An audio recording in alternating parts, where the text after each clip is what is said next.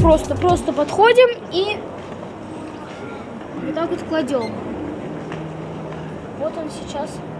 Вот принял. На счету химкинского школьника Матвея Березина около тысячи алюминиевых банок и пластиковых бутылок, которые он собирал вокруг дома, школы и относил в роботизированные экопункты, фандоматы. Сбор вторсырья для Матвея – это не только спортивный интерес, но и забота об экологии. Если кто-то там бросил э, там пластиковую, алюминиевую э, тару, тогда это ну, загрязняет природу, нарушается экология. А так, э, если ты можешь ждать, получить приятный приз э, и помочь природе. Она погибнет из-за того, то, что мы просто так бросаем все, что попало. Матвей Березин – один из тысяч школьников, которые приняли участие в экологической акции «Сдал отходы, получил подарки». 13 самых активных детей со всего Подмосковья пригласили в Дом правительства Московской области и наградили. В течение четырех месяцев учащиеся собрали тонны мусора через экопункты. За каждую бутылку или банку начисляли баллы, которые юные экологи регистрировали в личных кабинетах.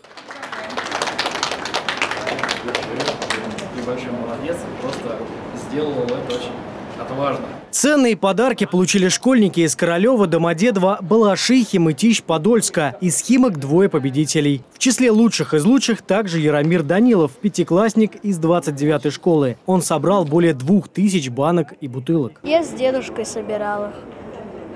По парку ходили, находили бутылки. И еще, когда мы покупали дома оставались бутылки, и я их сдавал.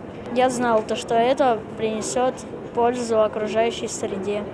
Развитие сети экопунктов Подмосковья – пилотный проект, который инициировал губернатор региона Андрей Воробьев. В чем преимущество этих экопунктов? Чистая ПЭТ-бутылка и алюминиевый банк, она идет непосредственно на переработку. Нам помогает АТ Инвест в этом, и одни из первых там, пунктов, экопунктов губернатор открыл, если вы помните, летом этого года как раз в Химкинской школе, после чего он придал такой ну, хороший импульс развития. Экологическая программа будет продолжена и в следующем году. За 4 месяца было собрано Э, пластиковых бутылок и алюминиевых банок, это 300 тысяч. Такую программу с таким результатом нужно продолжать и делать это массово.